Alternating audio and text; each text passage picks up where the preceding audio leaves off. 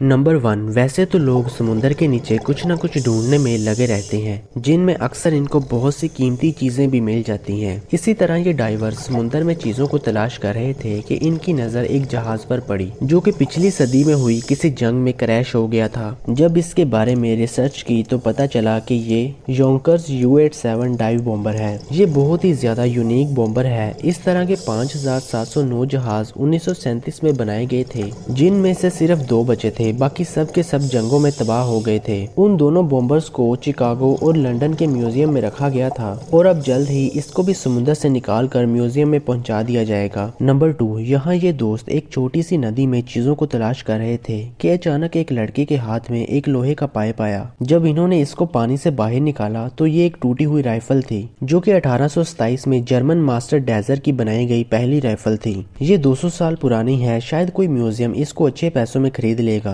Number three इस garage में military का बहुत सारा सामान लावारसों की तरह पड़ा हुआ है और इसकी निगरानी करने वाला यहाँ कोई भी शख्स मौजूद नहीं है। अगर आपने किसी से बदला लेना हो तो आप बिला झिझक यहाँ से टैंकर ले जा सकते हैं। नंबर फोर आज से कई साल पहले जे ओबर्ग ने दुनिया की सबसे लंबी लेमोजीन बनाई थी, जो कि सौ फीट लंबी थी। इतनी लंबी कार तो इन्होंने बना ली थी, लेकिन इस सौ फीट लंबी कार को सिर्फ़ एक बिल्कुल सीधे रोड पर ही चलाया जा सकता था। और दुनिया में ऐसा कोई भी रोड मौजूद नहीं है, जिस वजह से ये फेल हो गई। हाल ही में इसको एक ड्राइविंग स्कूल के पीछे जंगल में देखा गया था, जहाँ ये कबाड़ बन चुकी थी। जब इंसान बिना सोचे समझे कोई काम करता है तो फिर उसका ऐसे ही नुकसान होता है। Number five.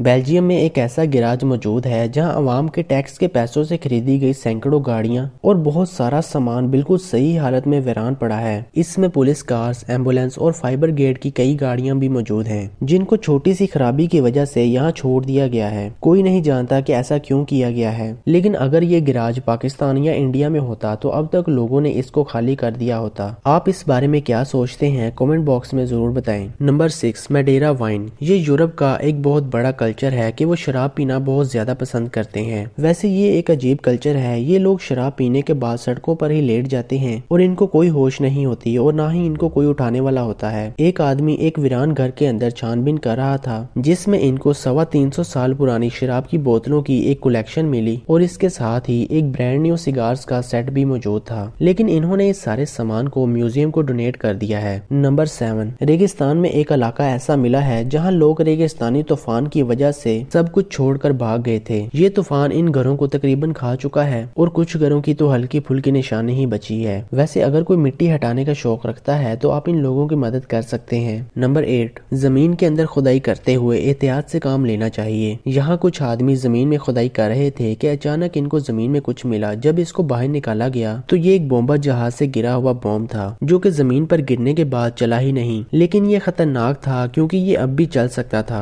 जिस वजह से इसे बहुत एहतियात से निकाल कर समुद्र में फेंक दिया गया। इसका वज़न 200 किलोग्राम था और अगर ये गलती से चल जाए तो ये एक किलोमीटर तक सब कुछ बर्बाद कर सकता था। नंबर नाइन, इंडिया में लोगों को समुद्र के साहिल पर समुद्री तूफ़ान में एक चैरियोट मिला, जिसके बाद वहाँ मौजूद कुछ लोगों में से कुछ आदमियों ने जाकर इसको बाहर निकाल लिया। जब इसको गौर से देखा गया तो पता चला कि ये सोने का बना हुआ है। शायद इन लोगों के कुछ महीने बगैर काम किए ही गुजरने वाले हैं। नंबर टेन, ये आदमी एक रेस्टोरेंट में गया और इसने सी शेल्स का ऑर्डर किया। इसके अंदर इसको एक बहुत कीमती मोती मिला जो कि पर्पल कलर का था। इसने जब इसको बेचा तो ये चार हज़ार डॉलर में बिका, जो कि सात लाख रुपए बनते हैं। उम्मीद करते हैं आप इस वीडियो को लाइक और शेयर ज़रूर करेंगे। और इस चैनल को सब्सक्राइब कर लें ताकि ये वीडियो सबसे पहले आप तक पहुँच सके।